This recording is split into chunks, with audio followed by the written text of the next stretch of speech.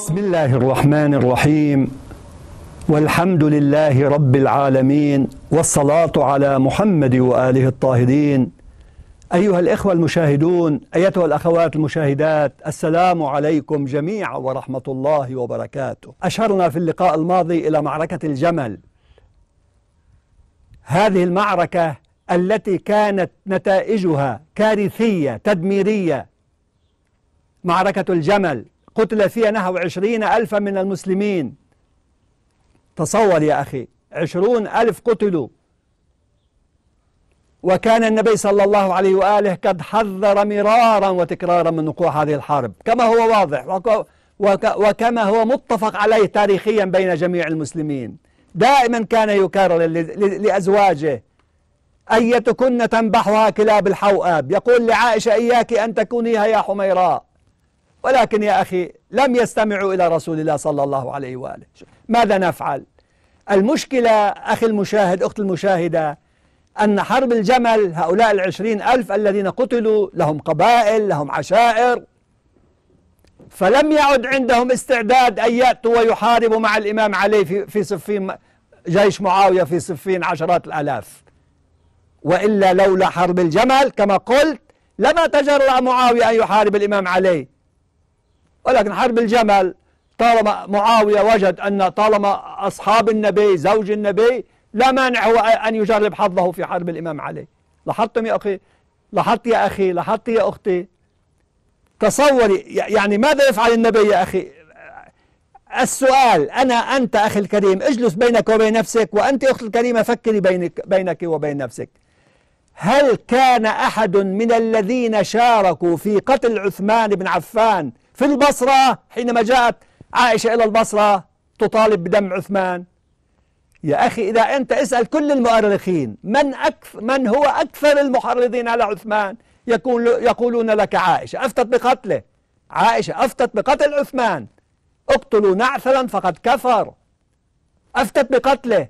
طلحة والزبير طلحة منع من دفنه. طلحة الذي جاء يقود المعركة ضد الإمام علي في معركة الجمل لم يقبل أن يدفن عثمان في مقابر المسلمين. فدفن عثمان في حش كوكب دير سلع مقبرة اليهود. هؤلاء جاءوا يطالبون بدم عثمان. لاحظت يا أخي؟ نعم طلحة يريد الخلافة لنفسه وعائشة من بني تيم من عائلة طلحة تريد الخلافة لطلحة. هذا هو السبب. ولذا لما بشروها بقتل عثمان هي فرحت سرت هي التي أفتت بقتله. اقتلوا نعثلا فقد كفر. قال ثم ماذا؟ قال لها عبيد ولو يعني بايعوا علي بن أبي طالب. رجعت الخلافة السياسية إلى علي بن أبي طالب. فورا قالت ليت السماء انطبقت على الأرض إن كان سيلي الأمر علي بن أبي طالب. لأطالبن بدم عثمان. قتل مظلومة. عجيب والله. عجيب والله. عائشة في طريقها إلى البصرة. نبحتها كلاب الحوأب. مرت على مكان نبع ماء. وإذا بالكلاب راحت تنبح. سألت عائشة. ما اسم هذا المكان؟ قالوا لها هذا الحوأب الحوأب الذي حذرك منه رسول الله ولكن مع هذا استمرت استمرت استمرت يا أخي النبي حذرها شخصيا مباشرة. إياك أن تكونيها يا حميراء إياك أن تنبحك كلاب الحوأب ولكنها استمرت. كان يجب عليها أن ترجع. حينما نبحتها كلاب الحوأب كان عليها أن ترجع يا أخي إكراما لرسول الله. ولكنها لم ترجع. الله أكبر. ثم وصلت عائشة إلى البصرة. ماذا فعلت؟ هي وجنودها. أولا قتلت نحو سبعين رجلا قبل أن يأتي علي الإمام علي إلى البصرة. قبل أن يصل الإمام علي. قتلت, قتلت حراس بيت المال المسلمين. قتلتهم. عائشة وطلحة والزبير قتلوا نحو خمسين شخص من حراس بيت المال ومن الأسرى قتلوهم قتلوهم بدون قتال. يعني يعني قالوا لهم ننتظر جرى اتفاق بينهم وبين والي الإمام علي على البصرة عثمان بن حنيف أن نحن ننتظر حتى يأتي الإمام علي. لا لا ينبغي أن يكون حرب قالوا طيب وإذا في ليلة شاتية ممطرة ذات ريح شديدة انقضوا على على حراس بيت مال المسلمين وعلى حراس عثمان بن حنيف قتلوا البعض وأسروا البعض حوالي سبعين واحد نحو سبعين رجلا قتلوهم. قبل أن يصل الإمام علي وقبل أن تقع المعركة. هذا الذي يريد الإصلاح يا أخي؟ هكذا يكون الإصلاح. يبدأ بقتل سبعين. ومن يقتل مؤمنا متعمدا فجزاءه جهنم خالدا فيها. وغضب الله عليه ولعنه وأعد له عذابا عظيما. الله أكبر. جاءوا بعثمان بن حنيف الوالي هذا الرجل المؤمن العبد الصالح. نتفوا شعر لحيته. نتفوا شعر حاجبيه رموش عينايه. في معركة الجمل نتائج معركة الجمل. نتائج كما قلت نتائج تدميرية. سأل رجل الإمام علي عليه السلام. في معركة الجمل رجل يسأل الإمام أمير المؤمنين علي عليه السلام. قال يا أمير المؤمنين أي فتنة أعظم من هذه؟ فتنة أنه المسلم يقتل المسلم. فقال الإمام علي ويحك أتكون فتنة أنا أميرها وقائدها؟ ويحك نعم. والذي بعث محمدا بالحق وكرم وجهه ما كذبت ولا كذبت ولا ضللت ولا ضل بي ولا زللت ولا زل بي وإني على وإني لعلى بينة من ربي. إني على بينة من ربي. تقول لي فتنة؟ الإمام علي هو الإمام المعصوم. فتنة؟ أين الفتنة يا أخي؟ هناك حق وباطل. حق مع علي وباطل مع, مع, مع غيره. وهذا حتى بإجماع المسلمين في هذا اليوم. حق وباطل أي فتنة هذه؟ يقول وإني الإمام علي وإني لعلى بينة من ربي بينها الله لرسوله وبينها رسوله لي وسأدعى يوم القيامة ولا ذنب لي. ولو لو في اللغة حرف امتناع حرف امتناع. ولو كان لي ذنب لكفر عن ذنوبي ما أنا فيه من قتالهم. الإمام علي الإمام المعصوم الذي هو مع القرآن والقرآن معه الذي هو مع الحق والحق معه يعتبر أنه لو من باب فضل المحال من باب فضل المحال كان عليه ذنب لكفر عن, عن ذلك الذنب بقتاله طلحة والزبير وعائشة. أي فتنة هذه؟ وأي إصلاح جاءت به عائشة هذه؟ ذكر المدائني هنا قصة طريفة أخواني قصة طريفة. ذكر المدائني أنه رأى في البصرة رجلا مصطلم الإذن رجل بدون إذن. فعلا شيء يلفت النظر رجل بدون إذن. فسأله عن قصته. يعني عجيب من الذي انتزع إذنك؟ سأله عن قصته. فذكر أنه خرج يوم الجمل ينظر القتلى. راح يوم الجمل يتمشى بين القتلى. فنظر إلى رجل منهم من الجرحى يخفض رأسه ويرفعه. ويرفعه وهو يقول ينشد شعر.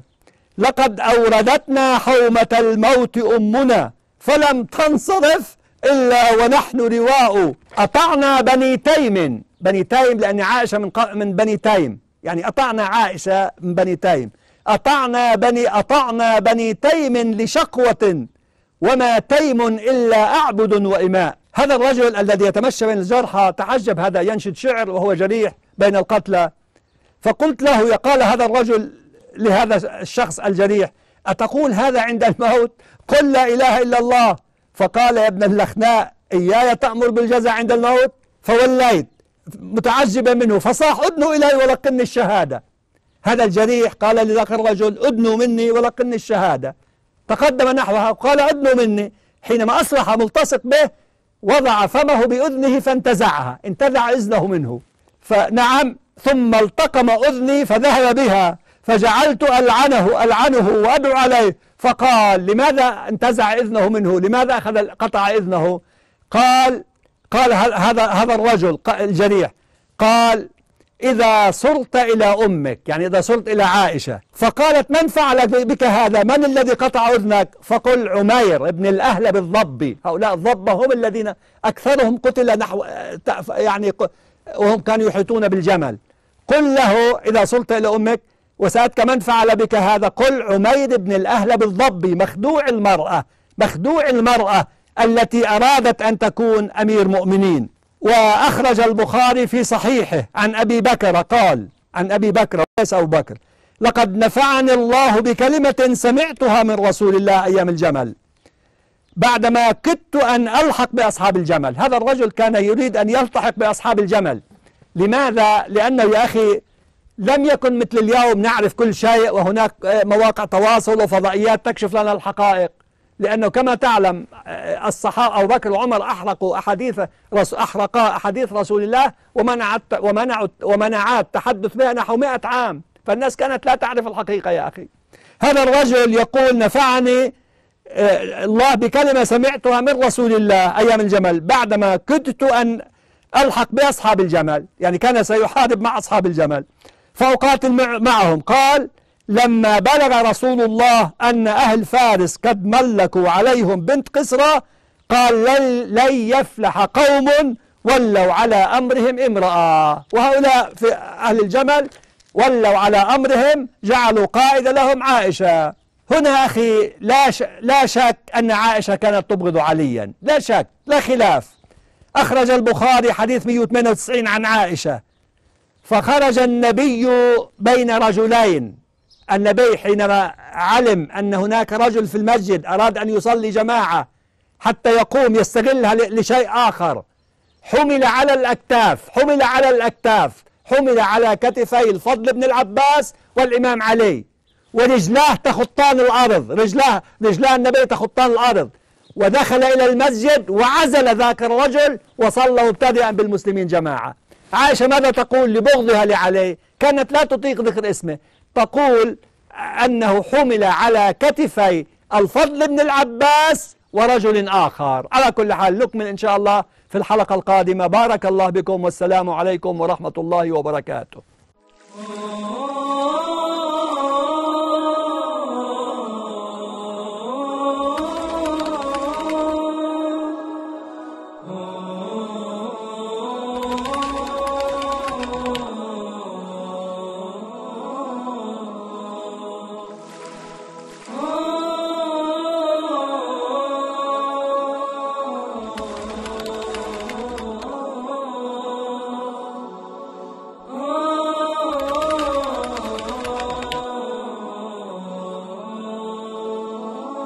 Oh.